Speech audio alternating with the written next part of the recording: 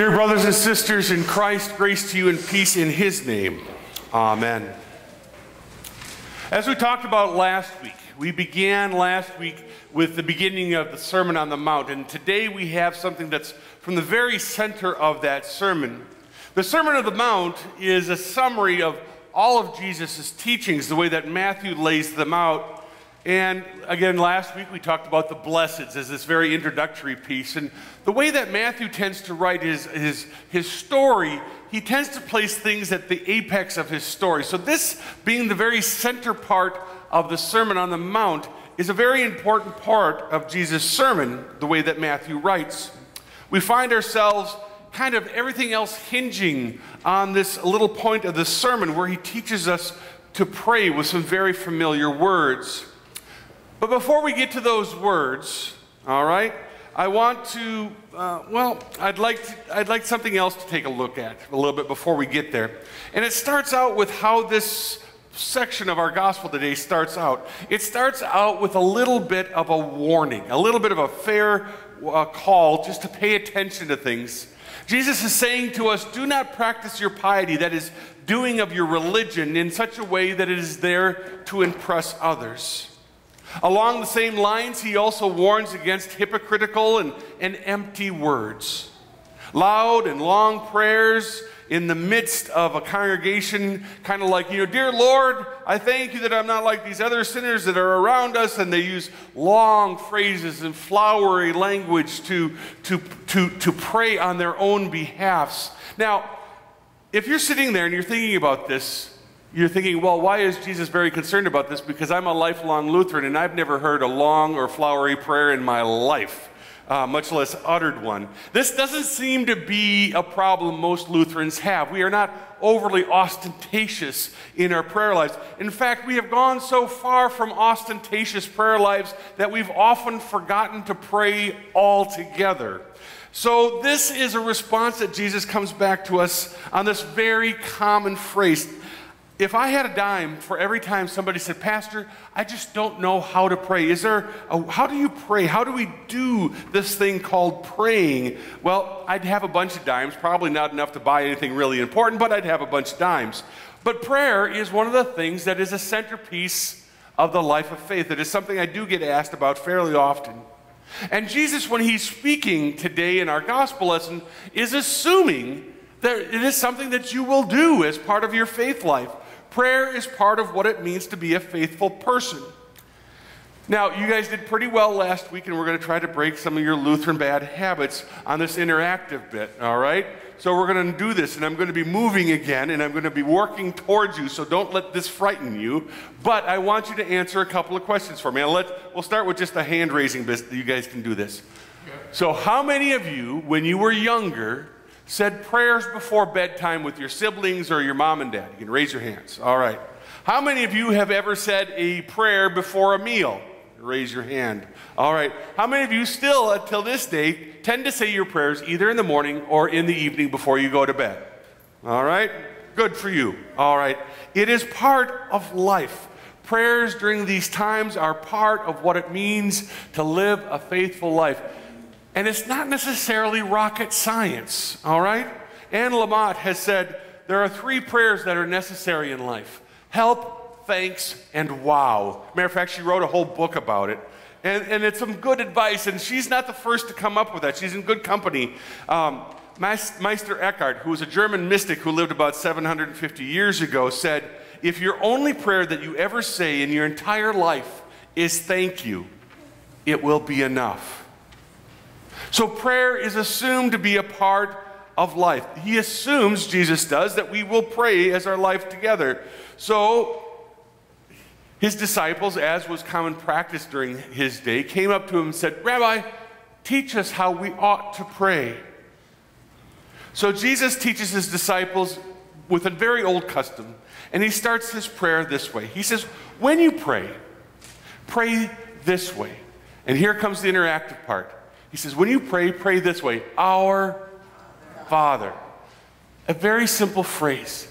Those two words set the tone for this whole prayer. The first word, our. This is a prayer that is not an individual's prayer. Even if you only say it by yourself in the mornings or at nighttime before you go to bed as you repeat the Lord's Prayer, you are always praying this prayer with the gathered people of God in Jesus Christ. This is not my Father. This is not our Father. This is our Father. It is a corporate sense of the word. And then there's that word Father. In the Aramaic, the language that Jesus spoke at the time, the word that he used was Abba, like the 70s band with the Swedes, okay? But not like the 70s band with the Swedes. This was a very affectionate term for daddy. It's a very relational term. So, right away, with the first two words of this prayer, our, which is a plural, and father, which is a relational term, we are set in this very deeply relational essence of prayer. It's not just about me, it is about us. And it's not just about us, it's about us and God, all of us. Then there's a term that comes next Our Father who art in heaven, hallowed. What does hallowed mean?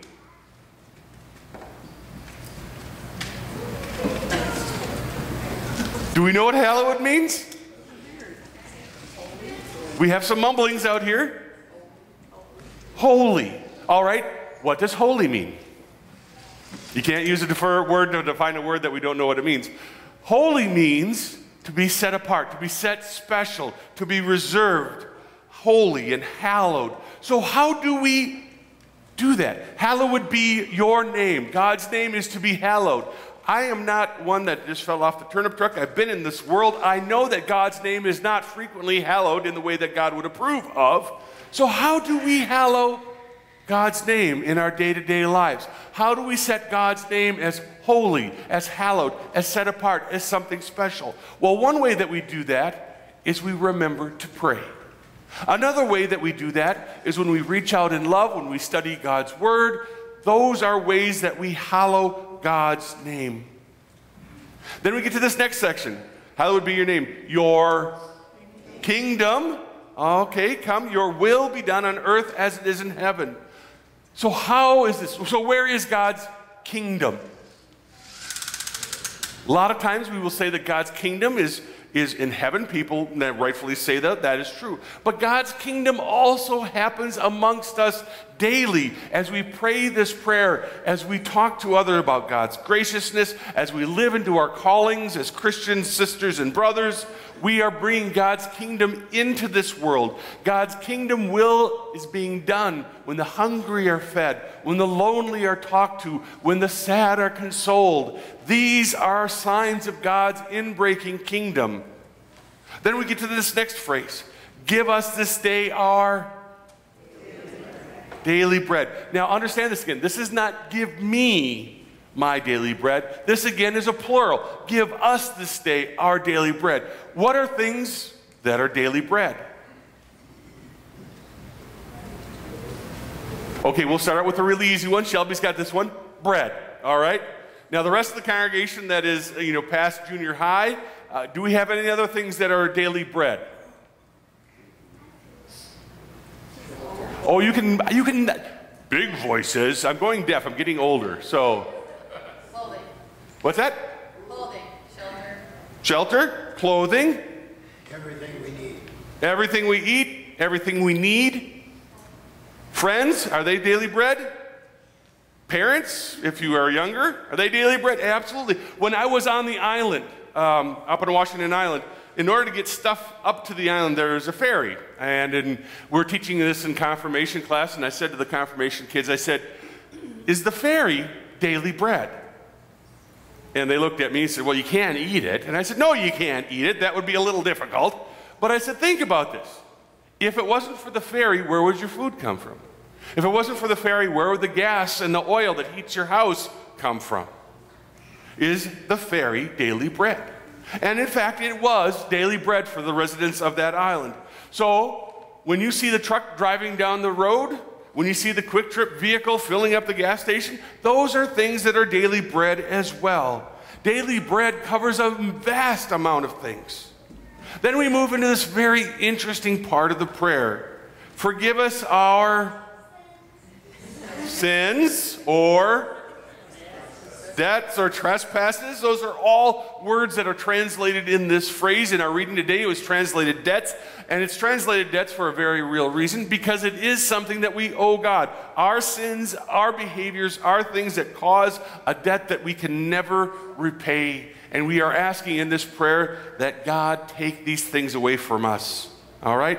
Now, it's very specific. We've been talking very generally along here. But God in Jesus Christ, in teaching us this prayer, talks about forgiveness very specifically. And I think He does it for this reason.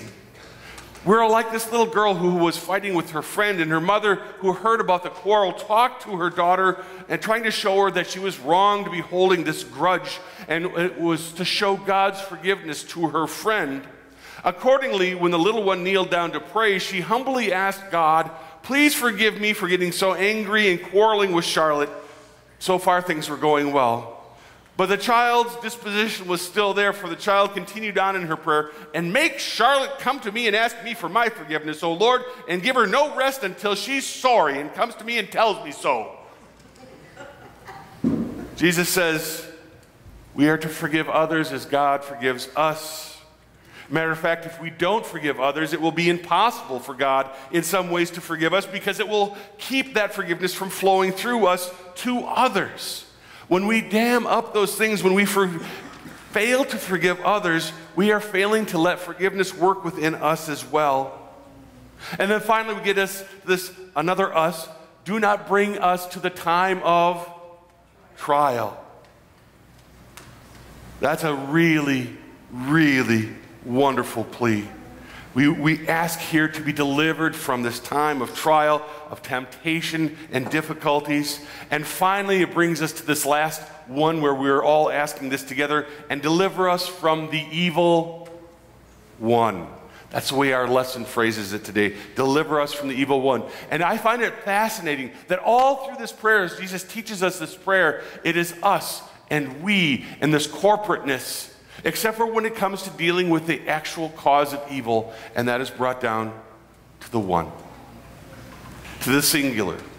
When it's all about you, when it's all about me, then we are susceptible to the forces of evil in this world. But when we pray together this prayer and remember that we are in this together with Christ and with our brothers and sisters in His name, we receive forgiveness and mercy and grace. So, back to the broader arc of this story, why we were brought into this thing. There's lots of stuff in this prayer, there's lots of stuff in our gospel lesson today. So, where do we find the good news? Where do we find the gospel? Jesus says at the very beginning of our lesson today, He says, Your Father knows what you need before you even pray. So, the question may be, why? do we pray? Now, Jesus, as I mentioned, was assuming that we would pray. So, why do we pray at all if Jesus tells us that God already knows what we need before we pray? Why do we pray?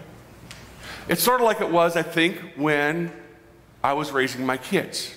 All right? They got to the point where there'd be um, their bottle or something, cookie on the counter or something, and they'd be sitting in their high chair and they'd be gesturing towards something and they would grunt at it. Uh, uh. And we, mom and I would say, use your words. Because in using your words, I would, as her father, or as Daniel's father, or Hannah's father, I would understand what they're talking about. But as they grow in relationship with others, grunting was not going to do. They needed to be able to communicate to one another, with each other. This is a very relational aspect. God wants us to communicate back and forth with Him so that we may communicate back and forth with each other as fellow Christians. How will we know where our needs are? How will we know what we need? And, and how will we communicate our faith together unless we are practiced in using these words? So God says, Learn how to pray. Talk to me, for I know what your needs are. It's a deeply relational skill is prayer. It's about communication. It is about God working within our lives. It's about reminding us of those things that we need the most. And Jesus finally says, Where your heart is, there will your treasure be also. if we treasure our conversation with God, if we learn to trust in God in all things, from daily bread to moment to moment breath, our treasure will be in heaven where it belongs, which frees us in the here and now to forgive as we have been forgiven, to serve as we have been served, and to love as we have first been loved. Thanks be to God for that. Amen.